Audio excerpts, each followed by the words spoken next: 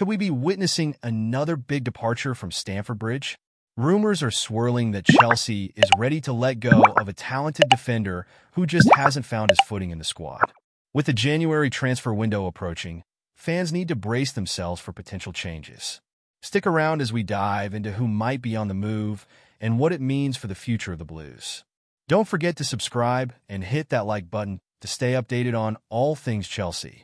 Chelsea fans, we need to talk about some critical developments happening at Stamford Bridge, especially regarding Benoit Badiashile.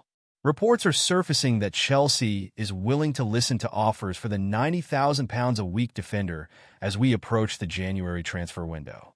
Can you believe it? Just a year ago, he was seen as a key part of our future after arriving for a hefty £35 million, and now he's on the chopping block. Under Enzo Maresca, Chelsea is beginning to find its footing, but it seems not everyone is safe from the culling. This new regime is all about making tough decisions, and it appears Badiashile is the latest player facing the exit door. His recent performances, particularly that disappointing showing against Newcastle in the Carabao Cup, have raised eyebrows. It's hard to watch, especially knowing how much potential he has shown in the past. Wesley Fofana and Levi Colwill are currently ahead of him in the pecking order, and with the competition heating up, you have to wonder if Badiashile can rediscover his form. The narrative around him is intriguing, while some still see a bright future for the young Frenchman, the reality is that he's struggled to make an impact under the new boss. It raises the question, is it time for a fresh start? I mean, let's be honest. This is a player who impressed many at AS Monaco, earning accolades for his cool demeanor and maturity on the pitch. Thierry Henry's former assistant even praised his character, saying he's got the emotional control that many young players lack. So, it's a bit heartbreaking to see him potentially leave Chelsea when he still has so much to offer. But here's the kicker.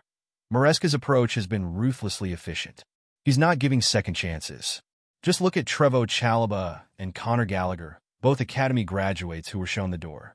Even Ben Chilwell, who has been a solid performer for us, finds himself frozen out. The message is clear. If you're not performing, you're out. And that brings us back to Badiashile. Will he be the next casualty in this ruthless overhaul? I'm torn, honestly. On one hand, I see a player with immense talent who just needs the right opportunity to shine again. On the other, I understand the need for Maresca to shape the squad to his vision. This is a pivotal moment for Chelsea, and decisions made now could have lasting impacts on our future.